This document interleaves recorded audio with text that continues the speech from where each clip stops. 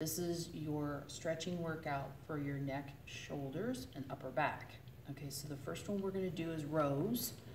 So you're going to reach out like you're trying to pull a bar, and you're gonna pull back.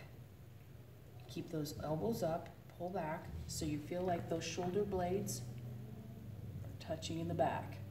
Now I want you to keep your head up, keep your back straight, your spine in a line, and you're just gonna pull back.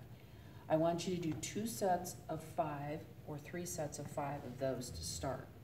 Okay, so the next one I'm gonna have you do, and I want you to start with these, so we're gonna warm up your back a little bit.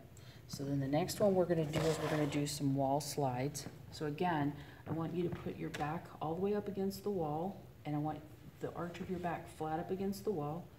You're gonna put your head up against the wall. You're gonna bring your arms up to here, okay? And you're going to just bring your hands up as high as you can go, slide up, and then slide back down. And what I want you to do is try and keep your arms on the wall. If you need to bring your feet forward a little bit so your back is flat, I want that back flat.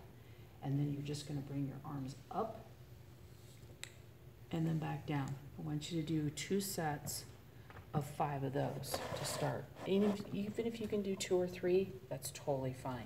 You're really gonna feel that in those lats and that upper shoulder area. Okay, so the next one we're gonna do is you're gonna be using a band, one of your bands. You don't need the handles on it. I don't want you to pull when you're doing this, but you'll pull as you go over. So you're gonna have your band in front of you, and what I want you to do is, again, I want your back straight, chest out, okay? You're gonna have the band, and you're gonna go up as comfortably as you can go, and then back down in front. Up, and then back down.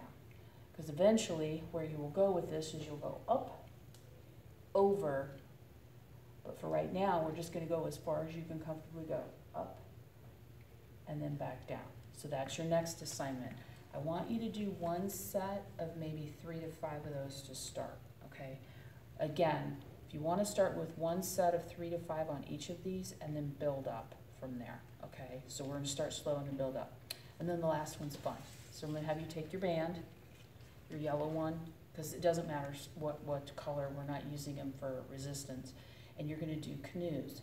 So you're gonna roll under, under, under, just like you're rowing a canoe. And you're gonna feel that in your shoulders. I don't want you to go with speed, I just want you to get the fluid motion, okay?